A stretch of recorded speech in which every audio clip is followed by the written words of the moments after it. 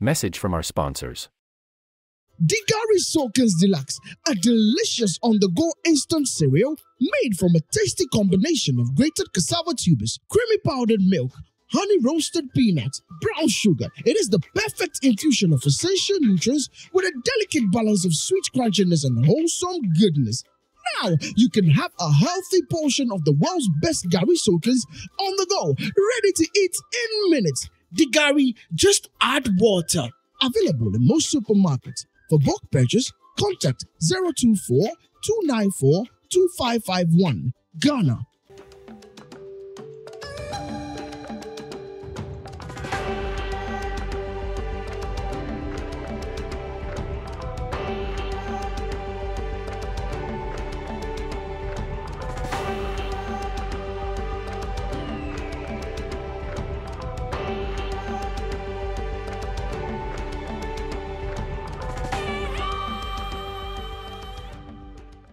In 2013, the chairman of the OAU Council wrote an imaginary letter of apology to Kwame Nkrumah.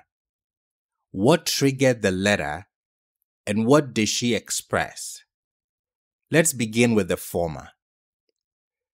Pan Africanism is an issue of still pertinent relevance, and many recall its tale carried by Africans in the diaspora. Prior to the renowned meeting of 1945 in the UK at Manchester, countries such as Trinidad and Tobago, Jamaica, and others sought ways to remain connected with Africa. The names of Marcus Garvey, Sylvester Williams, and W.E.B. Du Bois are all associated with this struggle, the latter being crucial for African American emancipation from slavery and prejudice. This culminated with the first convention ever attended by Africans, which sparked a critical part in Africa's decolonization process. This meeting in Manchester, attended by Kwame Nkrumah, discussing decolonization without access to modern technology or transport, yet still managing to communicate and organize effectively.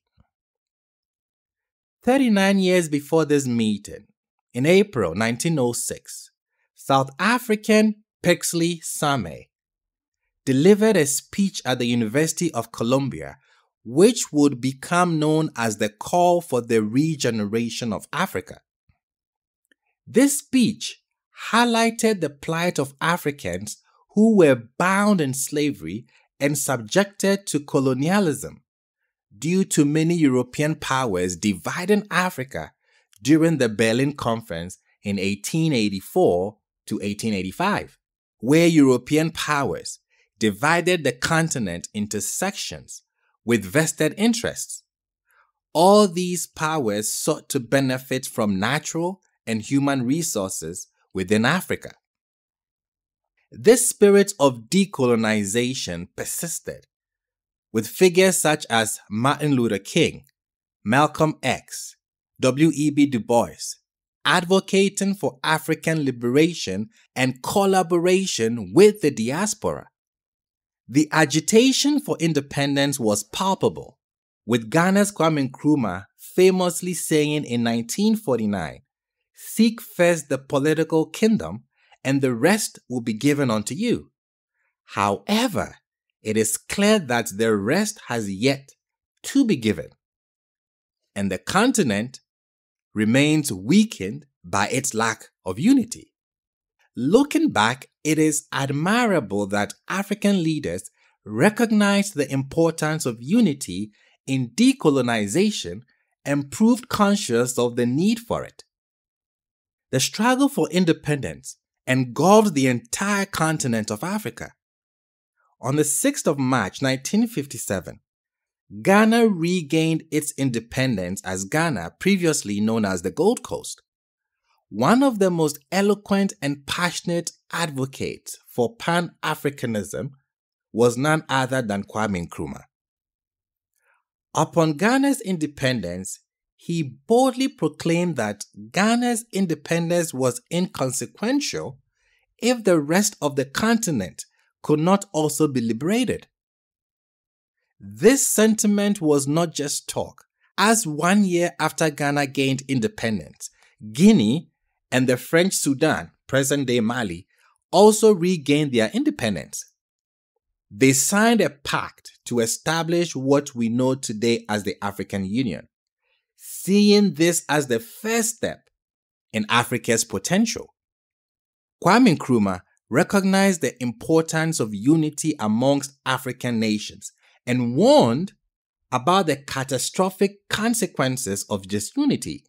If there was no solidarity, their future was inevitable.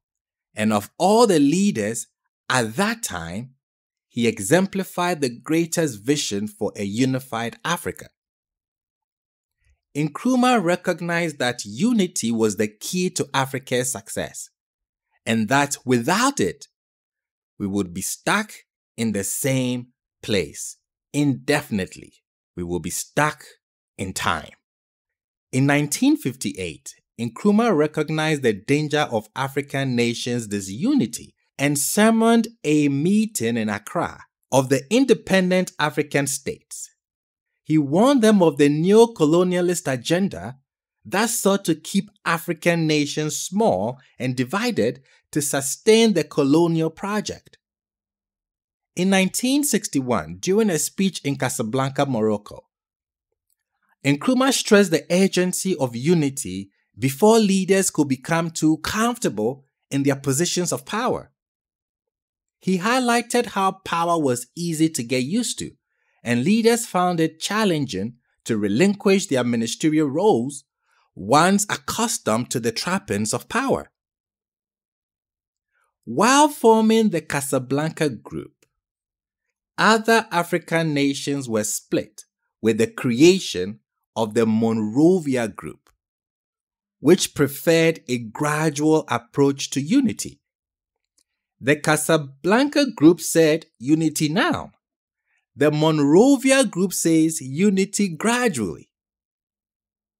The Casablanca group, famously comprising Kwame Nkrumah from Ghana, we had Egypt there, we have Algeria, we had Mali, advocated for immediate unity amongst African nations. William Tubman and Emperor Haile Selassie were members of the Monrovia group.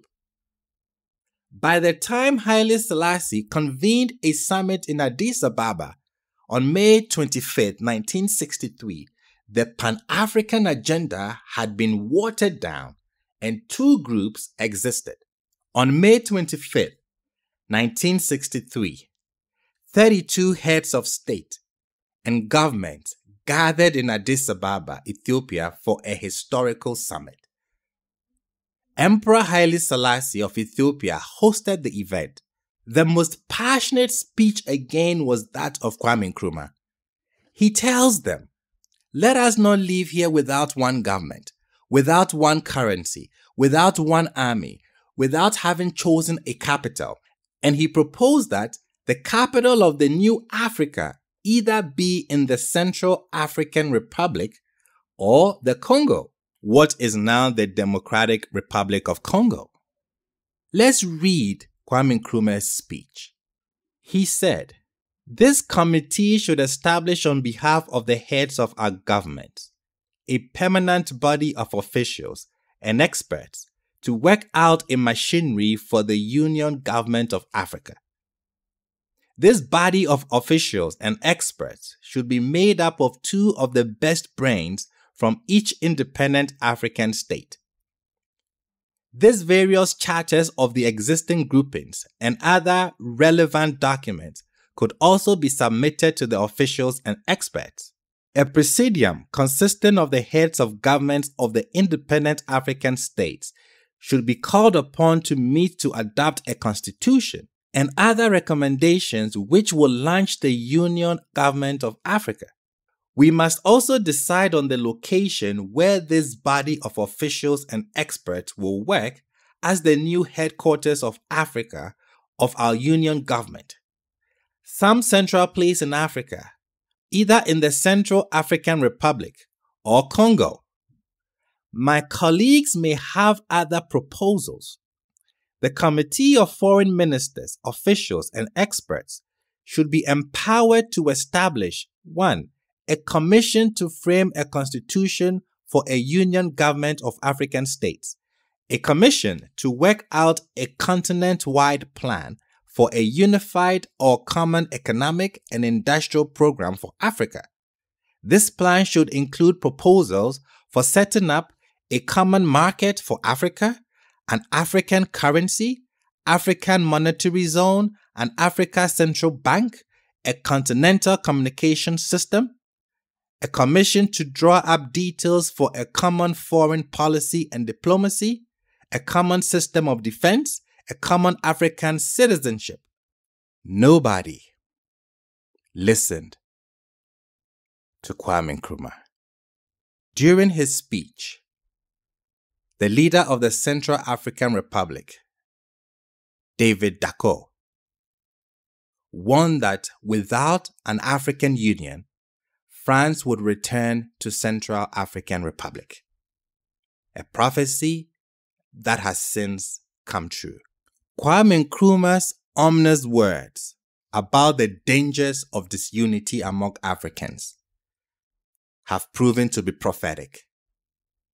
He warned that if we couldn't come together in a Pan African spirit, the imperialists would use our ethnic differences to cause division amongst us. Unfortunately, history has revealed that his concerns were justified. The imperialists did exactly what Nkrumah had predicted. They orchestrated assassinations and staged coups to exploit us while we fought amongst ourselves. Kwame Nkrumah himself was overthrown in a coup, and his books and speeches were banned. The list of coups and mutinies goes on.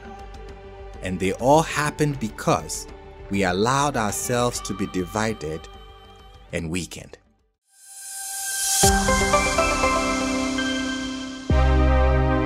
Wobroni say the sweetness of the pudding is in the eating. Cool. Wait there, Gary Soakins with swag. Taste warm Gary Check. sugar Check. and katie. Check. Now Milk is swam. The Gary, the Gary, The Gary. the Gary. Unyansia na sete. Gary the B. Gary Soakins mu already made. Atre nso hyɛ ho. Wait there, natural taste. Ubenya bi atɔ ɛwɔ shop BM. Nemum open dodo etu a frɛ 024 886 3301. The Gari, we all go chop some. sɛ nkaebɔ yi fda agye atum